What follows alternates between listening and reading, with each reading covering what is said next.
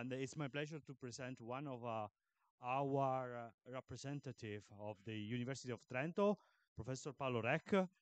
Paolo uh, got his PhD at the University of Padova. He visited the entire world, I think, uh, from Brazil to national labs in the United States. His research uh, focused more on reliability systems. uh, so Paolo will give a keynote uh, on the intersection between uh, HPC, AI, and reliability. Paolo, the stage is yours. Thank you. Good morning uh, and welcome to Trento.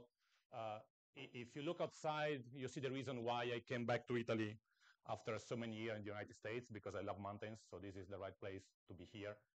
Um, the presentation I'm going to make today regards reliability. Okay, why do we want to address reliability in a high performance computing summer school? Uh, because reliability is often viewed as, as a, a trade-off to performances, but it is actually part of performances. It, it, uh, you can be as fast as you want, uh, but if the result that you get is wrong, then you wasted a lot of time. So that, that, that is the whole, uh, the whole reason why we are addressing reliability. Reliability is a nice problem because you can always solve it. You just duplicate or triplicate things uh, and you are done. So it is a problem that is very, very easily to be solved. It is hard to be solved in an efficient way. Okay. Uh, so the whole idea again is to try to understand where the problems come from and find uh, efficient solutions to that. So the specific problem that we are addressing uh, regards radiation reliability. So those cosmic rays particles that flip bits in, in the memory or change the values uh, of, of some operations. Um, when you have that problem in the hardware, uh, the application that runs in your system can experience what we call a detected unrecoverable error. I'm pretty sure you're all familiar with those error messages. Uh, when that happens, uh, don't, don't, always blame Microsoft or Apple uh, because it's very easy to blame the, the, software interface that you have with your hardware. Uh, and let's also admit that the hardware vendors um, are, are, very uh, careful in not changing the way that we blame the computers. So we always blame the operating system, never the hardware. But when those things happens, there's a good chance that uh, it was not a software problem, but a hardware problem. Uh, or you can have a silent data corruption. So your application finishes, it provides you with, with an output, uh, but the output is wrong. Okay, so that is the problem that, that, that we need to address, uh, which some of you might have heard of that. The majority probably never heard of that, uh, but it's actually out in the news, uh, mainly for supercomputers. Uh, reliability is a great issue. So one of the best ways to kill a supercomputer is to expose it to radiation, and clearly uh, radiation is a significant problem for any uh, space applications. So that is the problem that we need to address, and this is the technical outline of the talk. Uh, I will start with some reliability essentials. Um, so I, I, want to try to explain you the very basic of radiation from the physics uh, of the impact of particles till the manifestation of the error at the output of your application. Try not to be boring. Uh, I understand that, that, that, you don't like hardware, but actually I like it a lot. Um, uh, so I, I, will try to give you some background on, on where radiation comes from uh, and how to have some uh, realistic evaluation of what can happen so that you can design efficient and effective hardening solution. I will give you a list of funny and not so funny stories about radiation effects in history. Uh, just to convince you that this is a real problem, uh, for then addressing how we can address those.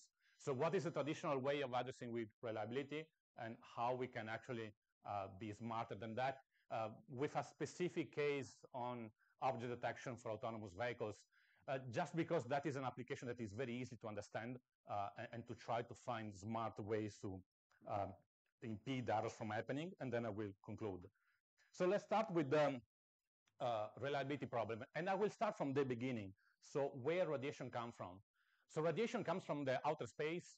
Uh, you have those uh, celestial bodies, explosions or collisions that, that um, produce materials, so heavy atoms uh, that wander around the universe. while wandering around the universe, they lose charge, uh, either an electron or a proton. Uh, so basically, they become ions. So they are charged and interacting with the magnetic field of the different planets they actually get accelerated uh, till reaching giga or tile electron volts. Um, these, these are the main problem of radiation in the outer space. Uh, when we consider the Earth, we also have the sun that is a quite efficient emitter of protons and, and electrons. Uh, but the sun is quite uh, close to the Earth, so those particles do not get accelerated a lot, and they are confined in what, what we call the, the Van Allen belts, which are the, the blue belts there uh, on the Earth, which, which are quite uh, radioactive uh, places. A any application uh, that needs to go to the outer space, they, they, they are switched off passing through the Van Allen belts, and the International Space Station is actually inside the Van Allen belts to prevent problems to, the, to the astronauts. And actually, uh, radiation problem in space is quite huge. I mean, I'm not going to the details of all the, the data that you can find here, uh, but just to give you a rough idea, a single trip to Mars will basically kill half of the cell of your body because of radiation. Uh, so when Elon Musk proposes you a ticket to Mars, be sure that that is a one-way ticket. You can hardly come back. Um, and um, I mean, passing through the Van Allen belts equal like a hundred and something full scan body of X-rays of your body. Okay, so th those are not very funny places to be.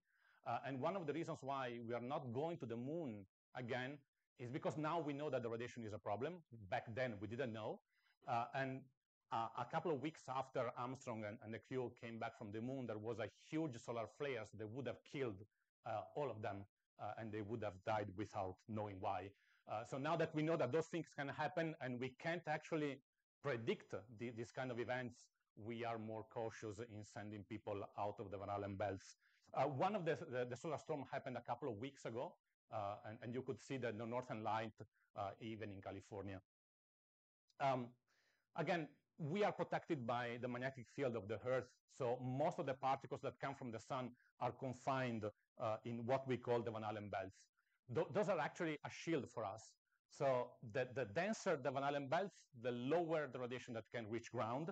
Um, however, the galactic cosmic rays that comes from the outer space are so energetic that they don't care about the magnetic field of the Earth. Uh, and they pass through the Van Allen belts, hit the atmosphere, and generate a cascade of particles that reach ground. As I mentioned, um, it is a common belief that when the sun is a very active, uh, we, we, we, might have problems uh, on Earth in communication or, or errors in electronics. Actually, it is the other way around. So here you have a graph of the solar activity in green. Uh, as you can see, it's very periodic. Uh, and the correspondent neutron flux at sea level. As you can see, uh, when we have a higher solar activity, the neutron flux at Earth is lower. And that is because when activity is high, uh, the Van Allen belts are thicker, so uh, they, they actually act as a, as a shield for us. That is clearly not true for space applications and for satellites. Um, so the galactic cosmic rays are so energetic that pass the Van Allen belts, hit the atmosphere, interact with the upper level of the atmosphere, and generate a cascade of particles that reach ground. Uh, these particles can be muons, protons, pions, gamma rays, but mainly neutrons. And neutrons are the bad guys here.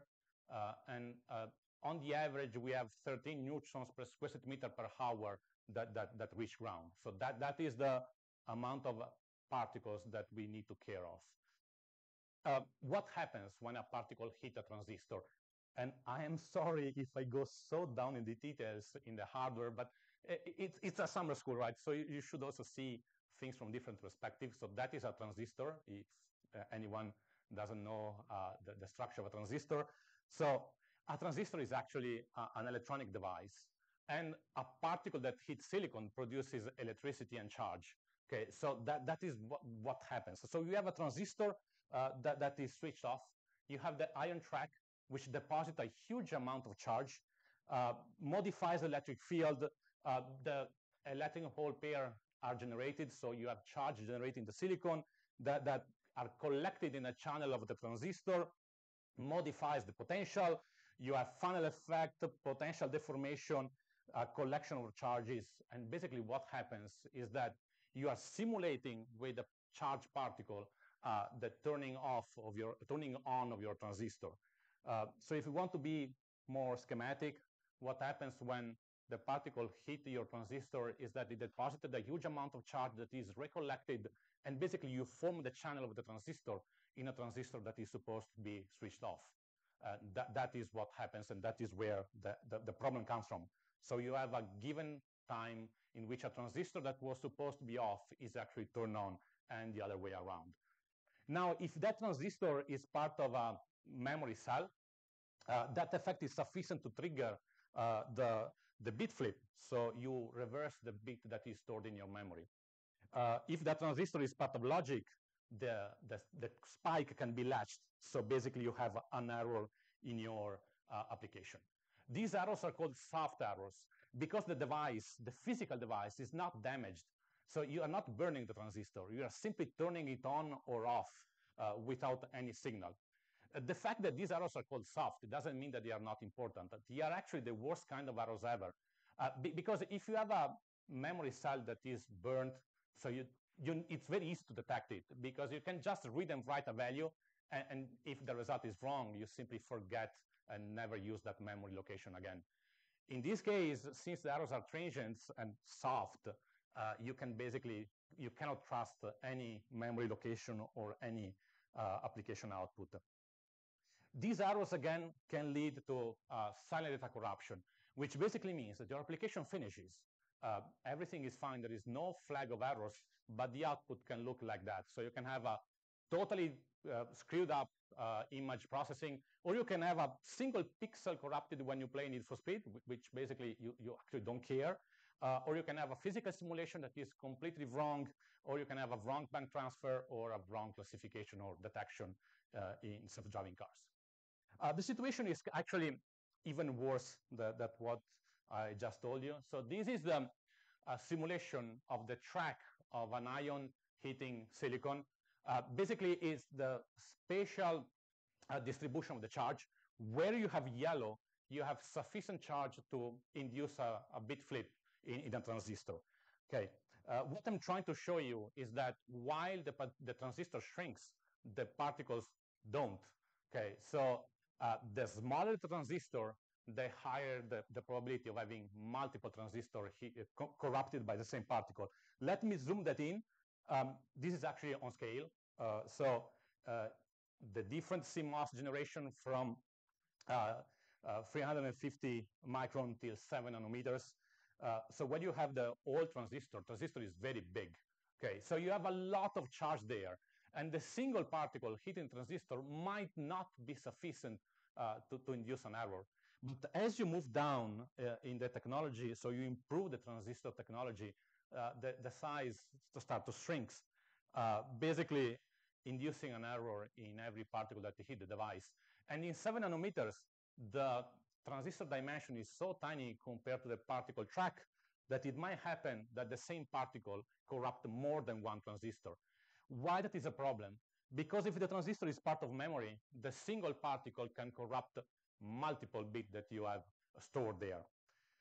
The multiple bits can be uh, part of the same word in your memory that is called a multi-bit upset, uh, or uh, spread in different words, uh, a so-called multiple cell upset. Why we need to care of that? Because if you turn on your uh, single error detection, single error correction, double error detection ECC in your GPU or in your uh, CPU, the multiple bit upset will not be corrected. Because it's a double bit in the same word, you don't know what to do, and basically you crash the application. Um, and the computing architecture nowadays are have some weaknesses. Uh, so this is a GPU, but that this apply to any parallel architecture. Uh, it, it's very high, very big, so it has a lot of things that can go wrong. And you can have like an error in a register or an error in a computing core. Uh, and if that happens, you can expect the single thread uh, using that register or being executed in that logic core to experience an error. But if you have an error in the scheduler or in the shared memory, uh, a bunch of threads will use that, that wrong uh, value. So you can expect to have multiple threads corrupted. Uh, why that is critical? Let me show you that with a very easy example, which is um, object detection. So uh, that is actually me while hiking the mountains. So uh, if you have a single thread corrupted while you perform a convolution, Imagine that as having a single pixel corrupted in your feature map. That is very unlikely to cause any problem. Okay, but if you have uh, an error in a shared resources, uh, you have a bunch of pixels that, that can be wrongly processed, uh, and that can basically lead to uh, wrong uh, detection or misclassifications or, or, or, even um, mis, mis, misclassifications. that, is, that is clearly a very tolerable error because it happened all the time when I walk around the street, but that can actually happen. And I will give you some ideas on how frequently those errors are. Now, to give you a very uh, straightforward example of why radiation is a problem, so we all know that we don't like neutrons. I mean, our body actually do not like neutrons a lot, uh, but electronic uh, likes neutrons even less. If you have assisted the, the series Chernobyl, or if you, if you know what happened, uh, you might have noticed that they tried to clean the rooftop uh, of the reactor using a robot uh, that lasted for a few seconds. And then because of neutrons, the electronic died, and that was the end of the experience. While humans were, were safe uh, for, for tens of minutes up there, which basically means that, again, we don't like uh, neutrons, electronic likes them even, even less. Now, let's move towards the problem that we need to face now. So the problem is that uh, currently we have in the market a lot of different devices, uh, accelerators, GPUs, Xeon Phis, ARM, RISC-V, FPGAs, and a lot of different applications in which we want to adopt this, this the hardware. Uh, consumer electronics, uh, uh, data center, HPC, and then space and, and automotive. Each application has a different reliability requirement. For the consumer, we just want the consumer not to be upset or at worst to blame the operating system. That, that is fine uh, for reliability. If you want to be in data center or HPC, you need to be high reliability for not wasting time. I mean, for not running the, the, the, the simulation for a week and then throwing away the, the, the, week of work because there was errors. And obviously, in space and automotive, you need to be uh, very, very high reliability. And we are crossing the domains. So the same, the same GPU that, that you can buy to, to, uh, to, to, play Need for Speed or to mine Bitcoins uh, is exactly the same hardware that you use in HPC and that NVIDIA wants to put uh, in autonomous vehicles. Okay, the problem is that the same hardware uh, is built for a different domain, and we are pushing to use that on a domain where reliability is more important. So we really cannot work on the hardware because it would be too costly. And if you make an hardware resilient to radiation, it means that it has very poor performances. So we need to find new ways to deal with radiation eventually in software. Uh, there is another problem, the fact that we have this complex architecture that runs complex application. I put a neural network there, but you can put a physical simulation as well. Um, and the error happened in the transistor, and that, but let me zoom that out. Uh, the error happened in the silicon, and then it propagates to the circuit, to the gate level, to the microarchitecture, finally reaching the output of your software. Okay, so the, the, the, the propagation of the fault is quite complex. Um, for memory, as we see, is uh, it's quite naive so in the sense that we have a particle hitting a transistor and that translates into one or multiple bit corrupted. But when we deal with the computing resource, uh, the, the, the, effect of the single particle on the output of your operation can be quite, quite complex uh, and not trivial. Okay, so for memories, uh, we know what happens is simply uh, one bit or multiple bit corrupted.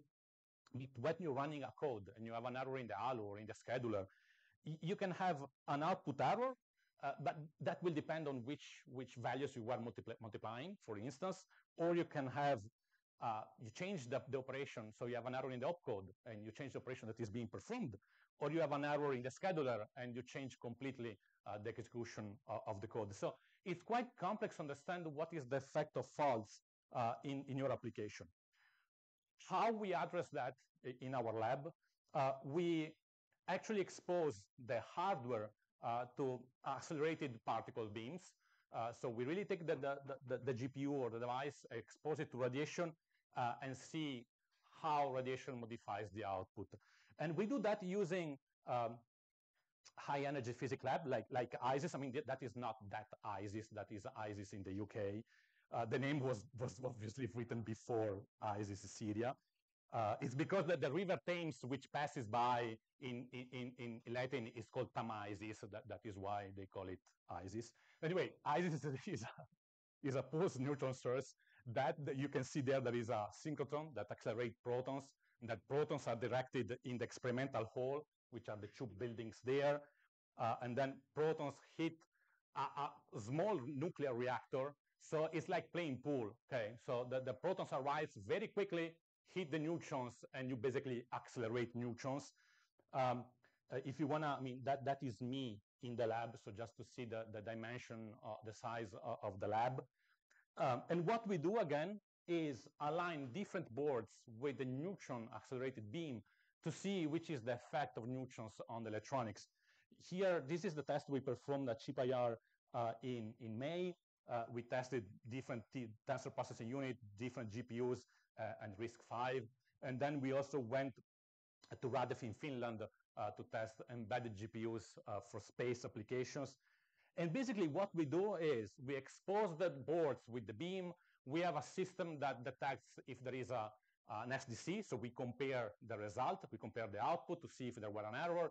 Uh, we, we detect if, the, if, we need to reboot the system, to power cycle the system with a whole server, uh, and, and then we analyze data. Uh, that, that, that is um, a very tidy experiment. Actually, this is the situation normally when we go there, so it's quite messy. So, so that was my previous PhD student trying to uh, rewrite the bootloader of, of, a GPU that were corrupted because of neutrons. As you can see, uh, our setup is quite messy, uh, but, but it's a fun experience. Um, we use those lab because they provide a neutron beam that resemble the terrestrial one. So, so this is the spectrum of energy of neutrons um, in Mars in, in red, the, the, in the Earth in blue, and then uh, in, in, red, you, in black, you have the, the, the, ones we use. As you can see, the curves are pretty similar. So basically, we, we are uh, testing the device with the same kind of neutrons that you can find in nature. The difference is that to be compared, uh, the atmospheric one were multiplied by 10 to the 9. Uh, so, so in those labs, we have 10 to the 9 more neutrons that you have normally, so you can have data ve very quickly. Um, let, us give me some numbers. So just to convince you that, that these things are real. So we tested matrix multiplication uh, on a device A. Okay, I, am not showing you the, the, the, the, vendor just so I can give you the real numbers. Uh, it was a very highly parallel device used for uh, HPC and convolution.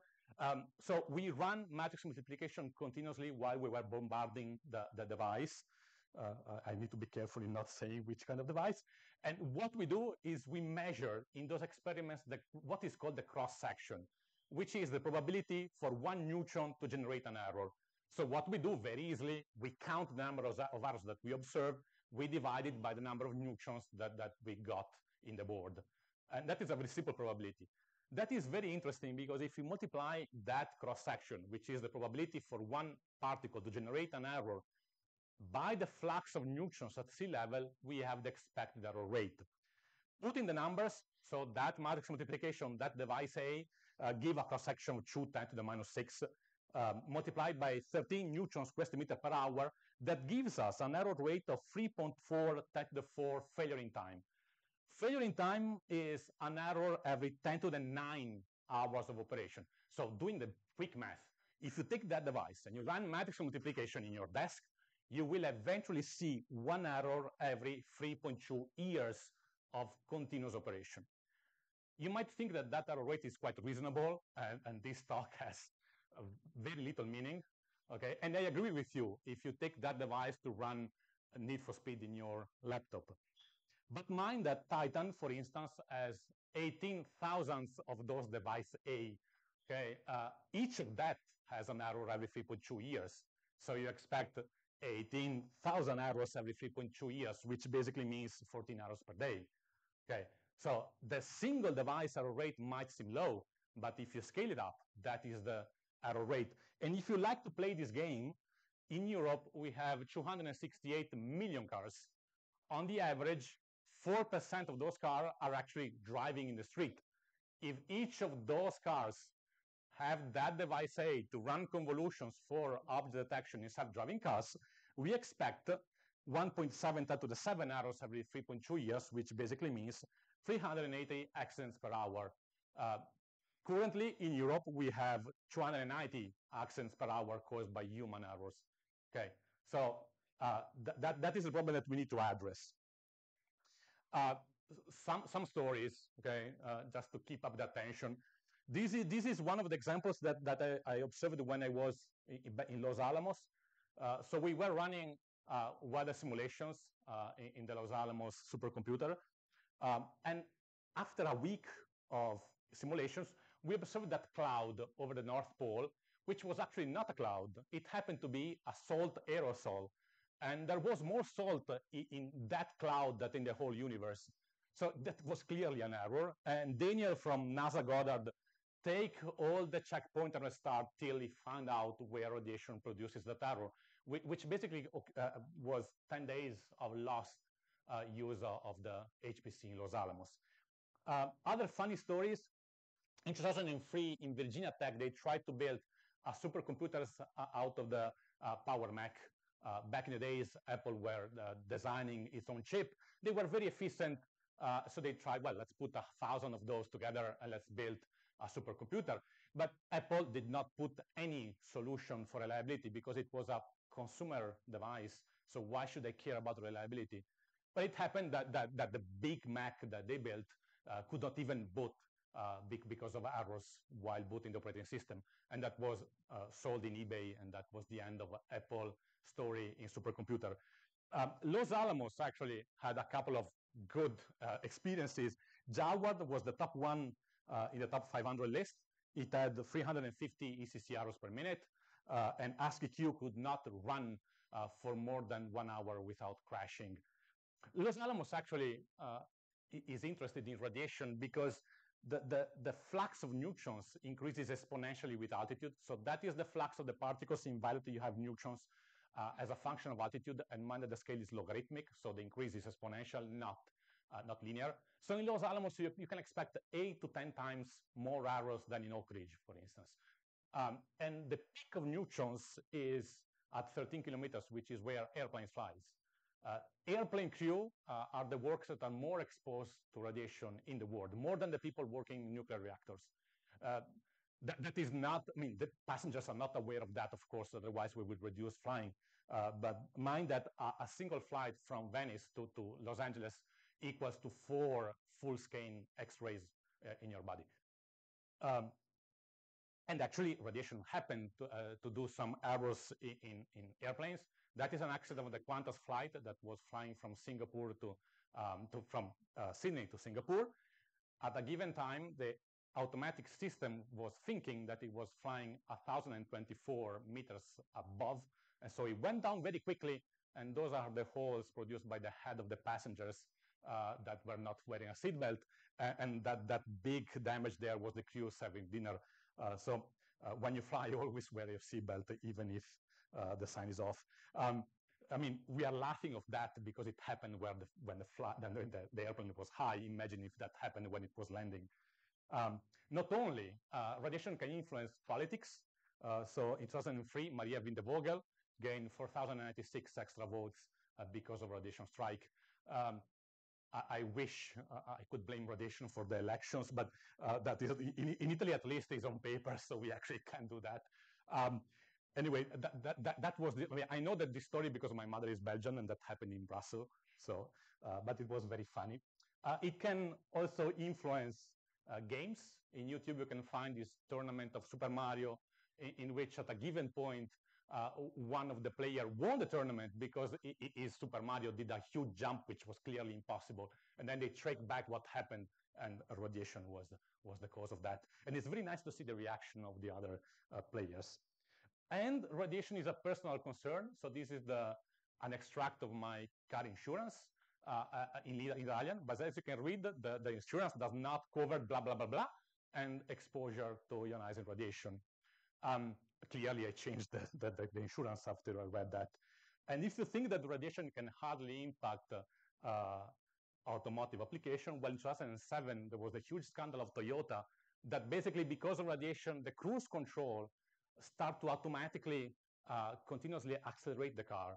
Okay, and, and you couldn't brake because Toyota was so smart to put the priority on the accelerator, not on the brake. Um, I mean, I, I mean, a, a, computer scientist would clearly turn off the current, turn it on again, and that would have solved the problem. But most of the people are not computer scientists, and unfortunately died because of that. And it's funny to, to read the, the transcript uh, uh, of the trial in which basically Toyota said, well, but it was not us, it was neutrons that, that caused the, the problem. And the judge asked, well, okay, so you are saying that I should blame God for the accidents. Uh, and that was very, very funny.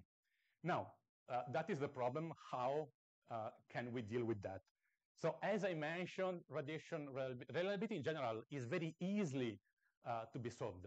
You just triplicate things like you do in airplanes, so you're doing satellites. You triplicate three times everything and you're done. There's a tiny problem of cost uh, into that. Uh, or you can put checkpoint restart. Okay, so every now and then you save the whole system, the whole state of your system. And if you have something wrong, you just go back. Uh, or you can add checksums in, in, your, in your application. What is the problem with that? Is that it is very costly, uh, or either in time, uh, in performances, or, or, or in, um, or in money. So I, I, I, thought, well, is there a better way to do that? Uh, so, I mean, this is HPC, so let's try to do what we can, so improve performances. So the first thing that occurred to my mind is that when you actually write your code, the way you write the code modifies the way the hardware is used. And even the way that you compile your code modifies the resources of the hardware that are actually used for your application and the way the error propagates. So can we find a good trade-off that we can improve performances and, and also reliability? We tried with, with compiler optimization. So we take um, matrix multiply on, on GPU. I, I, can give you the name there because everything is, is um, normalized. So this, this, is not, it's just relative data. Um, this is in blue SDCs, so arrows in the output. In, in yellow, you have crashes. Uh, for matrix multiplication uh, executed during radiation experiments with O0 or 1 of Ju, uh, of, of free and uh, MinRF. As you can see, the error rate increases while we, uh, we, we, we, put uh, more optimized flags. Will that mean that I need to uh, compile my code with O0 so lose performances? Not, not really. Because what happens is that uh, if we have O0, we have a long time between two different failures because the error rate is lower. But in that time, we are very lazy. So we do very few things and very slowly. Now, if we put a more optimized uh, flag, it is true that we are increasing the error rate, so we are reducing the time we have between two different failures. But in that time, we are very active, so we are faster. So the idea is that we can actually improve performances more than the increase in the error rate. And this is what happens when you use uh, compile optimizations. So it is true that we increase the error rate, but to increase performances faster than the error rate. So in the end, the number of executions that are completely, um, that are correctly executed between two different failures is increased. So the message is go as fast as you can. And that also applies to the way you program your, your algorithm. So you run matrix multiplication, you can go in the naive way uh, with, with, the different loops. You can use the optimized GEMM or you can use tensor core. Okay. As you improve uh, the, the, the algorithm, you are going to increase that rate because you use more hardware, but you are improving also performances. So who is gaining there? Uh, where is the trade-off? Uh, this is the comparison of FFT, matrix multiply, uh, Needleman-Wunsch, and uh, sorting um, running in the naive implementation in red and in the optimized implementation in green. And for each code, I'm showing the fit rate, so the error rate, the execution time, and the number of execution correctly completed between two different failures. So first of all, the, the error rate is increased because you are using more hardware, uh, but in a better way. And in fact, the execution time drops. For matrix multiplication, it is really reduced if you, if you use the optimized version.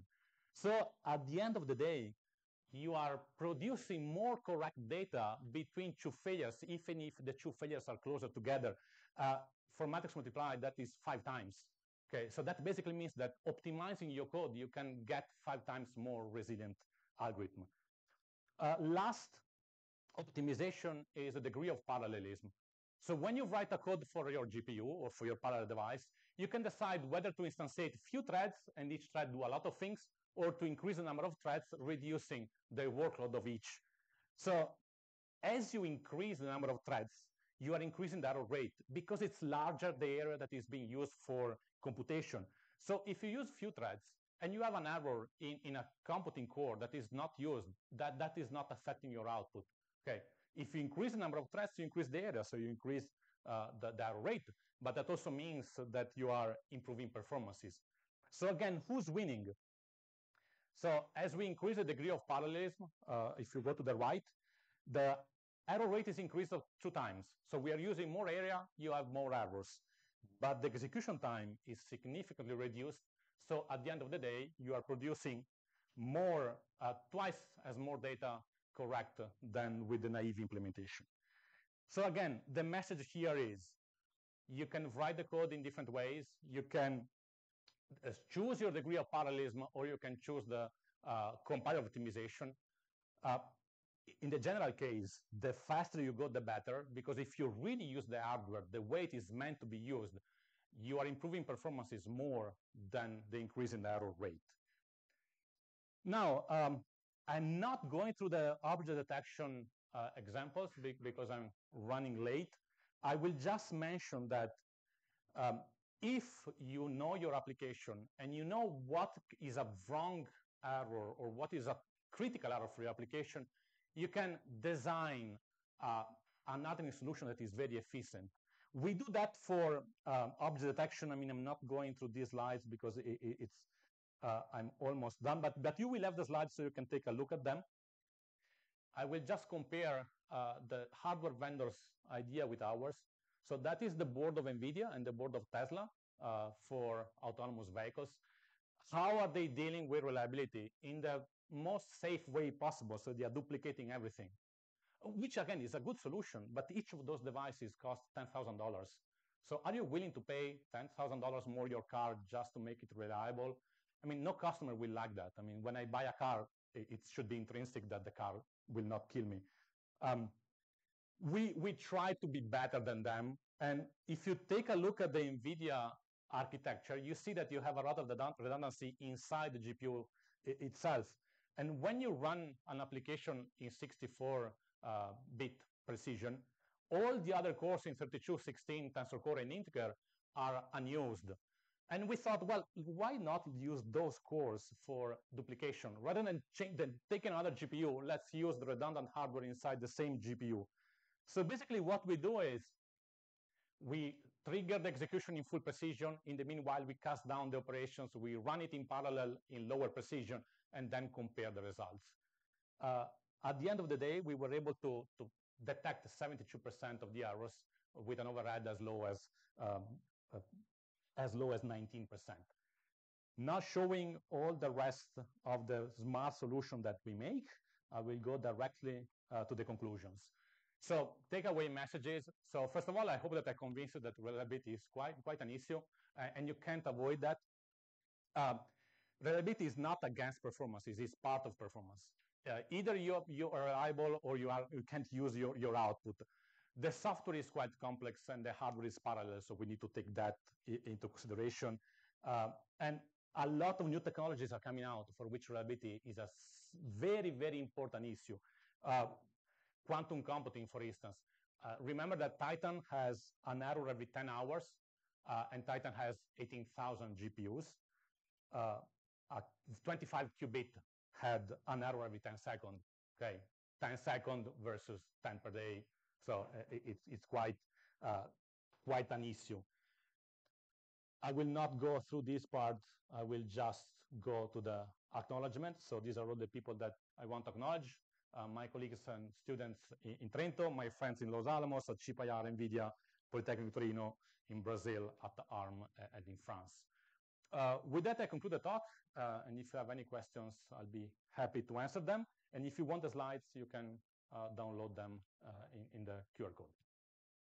Thank you.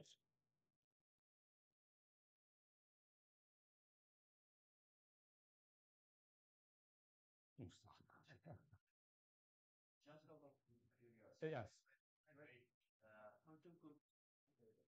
just out of curiosity, how um, quantum computing is affected uh, by those radiation? Is it at the same rate, at lower rate? Uh, Much higher normal? rate. Okay. I, I'd say at least three orders of magnitude higher.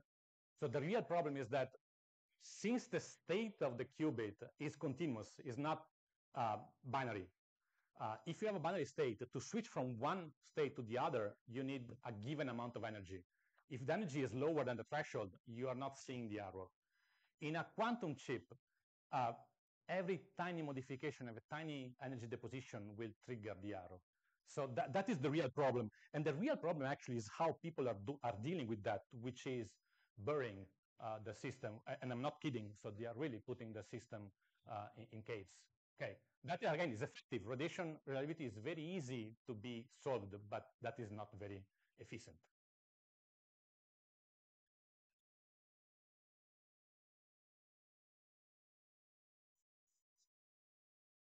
I was wondering um, how much scalable are the experiments that you were showing at the beginning to the HPC world? A lot of, luckily. Okay. No, So I mean- the, what we are doing is accelerating the number of neutrons. Okay. If you have a large system, you are accelerating the errors because you have a huge amount of devices. So rather than having tens of thousands of devices, we have few devices, but we increase the number of neutrons. What we guarantee is that during the experiment, even if the flux is very high, we do not inject two errors in one execution because that would be not realistic.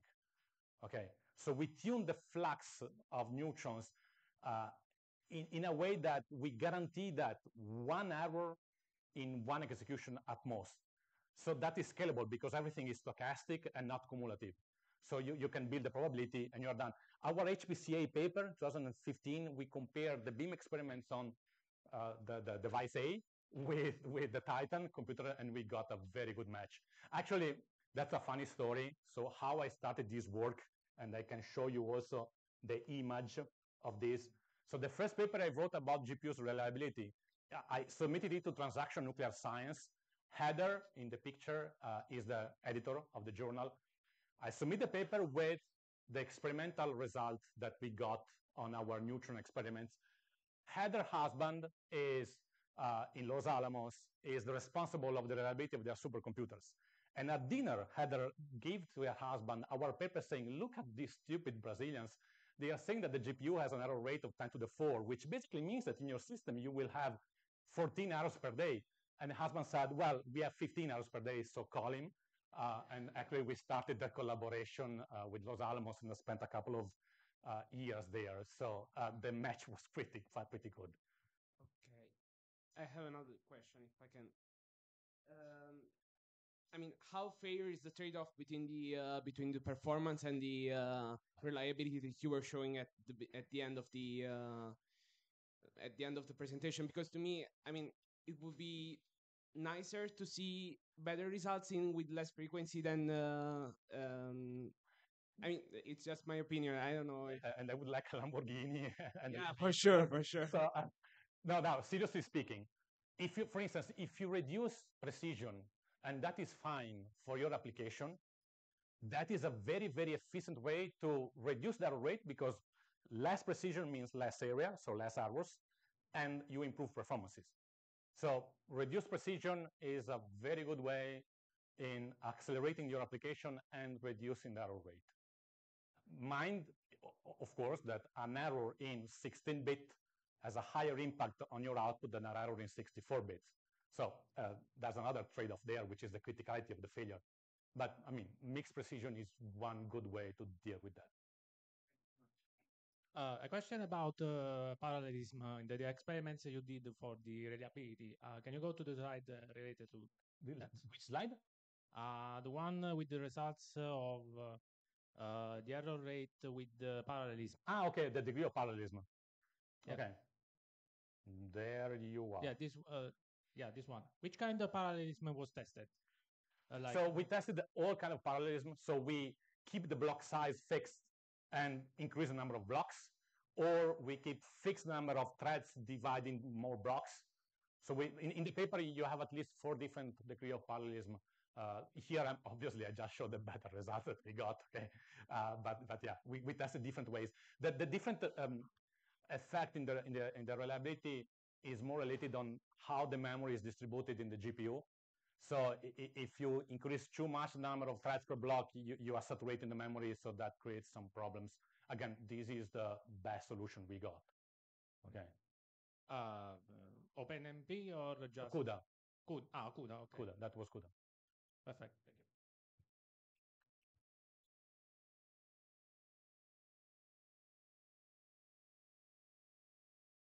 maybe maybe I've lost it, but what wa- what can we do for things on the ISS, for example? Mhm. What can So in, in the ISS, actually, you are better than here because you are outside of the atmosphere, so you don't have neutrons, and you are inside the Van Allen belt, so you don't have protons. So actually, it's a safer place than, than, than here. Um, that, that is why the ISS is there. Okay, as, as, as soon as you go outside of the Van Allen belts, then you have two problems. The first problem is that uh, charged particles, besides the that we see, also can destroy your device. So you, if the particle is, is, too energetic, it creates a short circuit in your chip, and that, that is gone.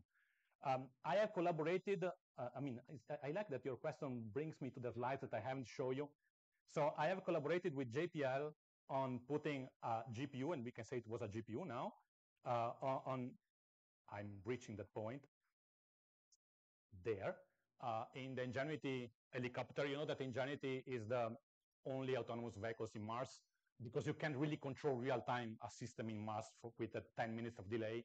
So my, my work in JPL was to ensure that whatever happens, even if you have a particle strike in the helicopter, that helicopter would never hit uh, Perseverance. That was the only, the only constraints that they gave us. Uh, after one year of work and a lot of money spent, very well spent money, the solution that the, the head of JPL selected was, well, look, let's mm. just fly Ingenuity when it is at least a kilometer far from Perseverance. And since Ingenuity has a three minutes of autonomy, it will never hit the system. And that was the solution. Uh, that, that picture, I mean, I took the picture after two years that I was in JPL because they invited me with an excuse for then showing me that they were mounting the helicopter, meaning that actually the project was approved and that it, it, it flown.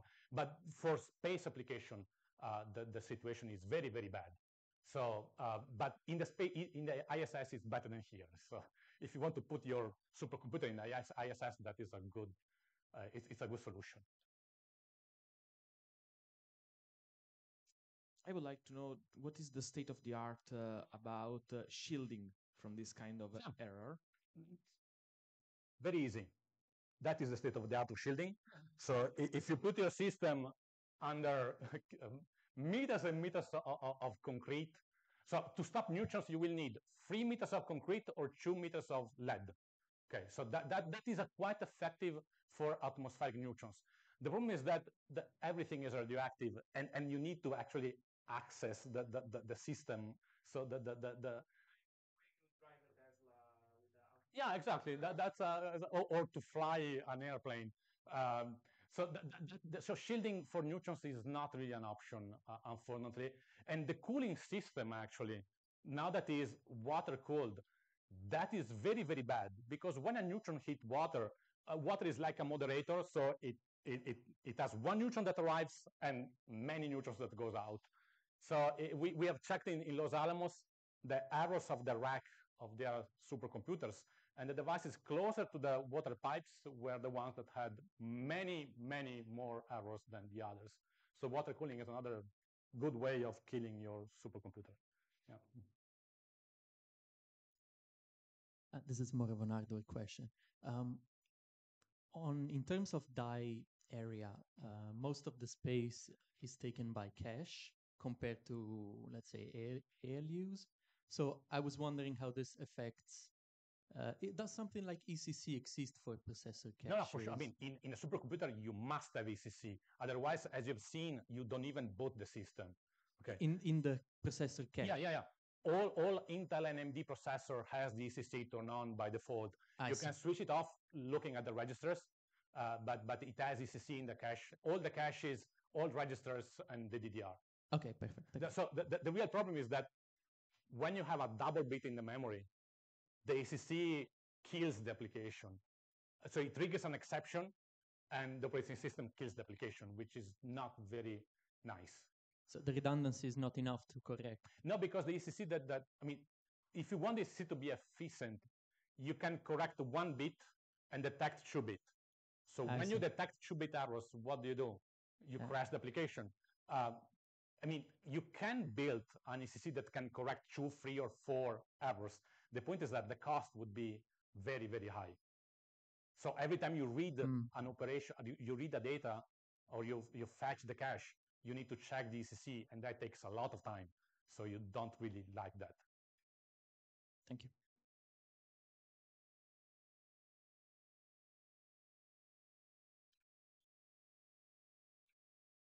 So, um, if the goal is to have the longest living s- data storage, Mm. what would what would be the best solution? Should we go back to thanks for punch cards? So we have just submitted a paper with Microsoft on using DNA for data storage. We, because the project is to put all the human knowledge in the moon and it should last for 10,000 years uh, with DNA. And we tested it with neutrons and it lasts much longer than 10,000 years. So DNA is a quite good way. Now, putting that in your laptop, that, that, is, that, that is hard. But those new technology are, are very, very nice. I mean, my, my, my contribution to the project was simply take the chip, put it in the beam, take it out, and ship it to Microsoft. That was my contribution, but that guaranteed the name on the paper. So I'm happy. Uh, I've got a question regarding the experiments with the accelerator. Uh, Mm. uh, yes. Uh, first is a curiosity. Did you decap the chip? So we, the, the cap in the chip means that you need to remove the package Yeah. and thin the silicon to allow the particle to hit that. So with heavy ions for such application, yes, you need to have at most 90 micron of silicon on top. Uh, with neutrons, they pass three meters of wall, so you don't really need to decap them. Okay. But with uh, heavy ions, you need, and that's a problem for high-end GPUs because you need to cool them down. Uh, and uh, when I was in, in Finland uh, in, in May, the, the, the guys before us were testing high-end devices and they put a very nice water cooling system, but that was very funny. But they didn't uh, connect it properly. So when they turned it on, there was water in the accelerator. It was very funny because I was not part of that team, obviously, that, that that happens. So you need to find smart ways to cool down the system if you decap the, the, the chip. And yeah, did you experience any multiple bit ups- uh, upsets in Yes. the experiments with it? So uh, in the newest technology, so seven nanometers and down, I'd say that 30, 35% of the memory errors are double bit errors. 35%, I'd say it's a good, uh, it's, it's a good estimation. Uh, did you try even uh, with other uh, chips like not made uh, by silicon, but with other semiconductors? Uh, So the, the, the problem there is, uh, the problem is solvable. Just get rid of silicon, okay? Because silicon, the problem of radiation is because you have a semiconductor that, that when you have the positive charge become a conductive element. Yes, there are other solutions. The problem is that it is, le- let's face the fact that the market of supercomputers is not big enough to drive technology. We need to accept the technology that is in the market. And the market share is for consumer electronics. So we want faster, cheaper, uh, and, and less uh, power consuming devices. So we go with silicon. And also changing completely the technology for a fab is impossible, basically. Uh, so, so I think we will stay with silicon for, for quite a while. Luckily for me, at least as, as long as I don't retire, I like silicon to be there because otherwise I will be jobless. But, but yes, uh, getting rid of silicon is a good way of solving the problem. But fortunately enough, that is not an option. So.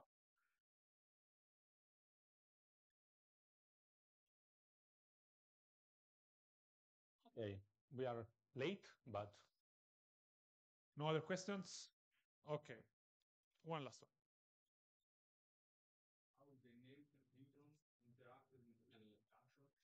So obviously a neutron is, is not as a charge, right? So when it hit the, the, the, silicon, it does not by itself uh, generate charge, but it hit the silicon lattice, okay? So it either either uh, deposits its energy on the silicon atom, and the silicon atoms emit charge, or it ionizes the silicon atom. So it hit the silicon atom and it does what neutrons are very effective in doing, so splitting the atoms.